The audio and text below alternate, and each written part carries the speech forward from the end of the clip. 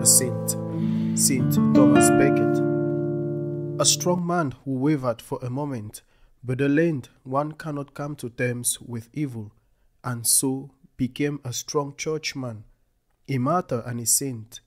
That was Thomas Becket, Archbishop of Canterbury, murdered in his own cathedral on December 29, 1170.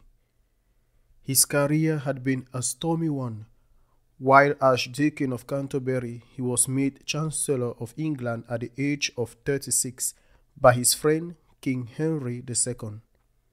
When Henry felt it advantageous to make his Chancellor the Archbishop of Canterbury, Thomas gave him fair warning. He might not accept all of Henry's intrusions into church affairs.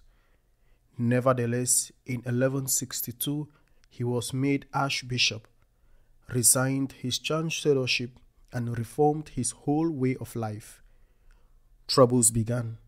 Henry insisted upon usurping church rights.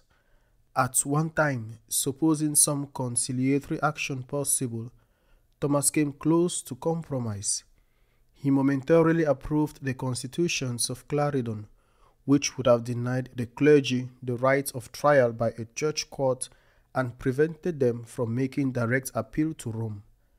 But Thomas rejected that constitutions, fled to France for safety, and remained in exile for seven years.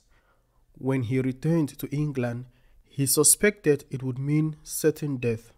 Because Thomas refused to remit censures he had placed upon bishops favored by the king, Henry cried out in rage. Will no one rid me of this troublesome priest?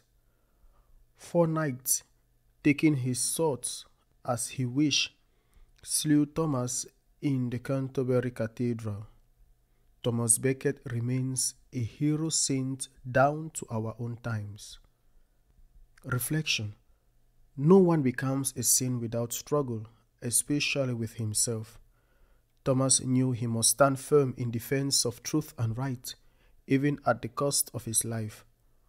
We also must take a stand in the face of pressures against dishonesty, deceit, destruction of life at the cost of popularity, convenience, promotion, or even greater goods.